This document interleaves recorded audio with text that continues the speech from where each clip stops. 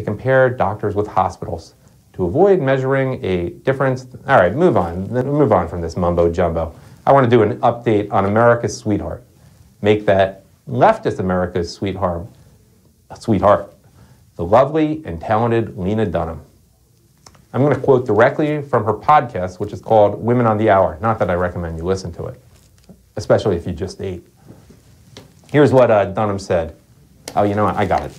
Take a sip of water before I get to this. We'll have commercials soon, so you won't have to deal with this. This is a mouthful from Lena Dunham.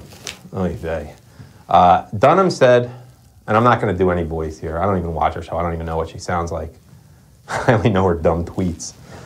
Dunham said, One day when I was visiting a Planned Parenthood in Texas, I mean, who doesn't go on vacation to go to a Planned Parenthood, right? One day when I was visiting a Planned Parenthood in Texas a few years ago, a young girl walked up to me and asked me if I'd like to be part of her project in which women shares their, their stories of abortions. And I'm not laughing at anything. I'm not even ad-libbing. It's just, oh my, really? Lena Dunham continued, I sort of jumped.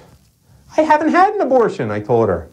I wanted to make it really clear to her that as much as I was going out and fighting for other women's options, I myself had never had an abortion. Insert your joke about what has to occur before one gets an abortion here and Lena Dunham's relative attractiveness, but anyhow, Dunham went on.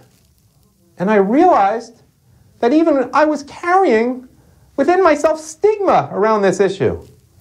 Even I, the woman who cares as much as anybody about a woman's right to choose, let me say choose with a little longer vowel there. A woman's right to choose felt it was important that people know I was unblemished in this department. And it gets better. Here's the great line from Dunham. Now I can say that I still haven't had an abortion, but I wish I had. I have nothing more to add to this.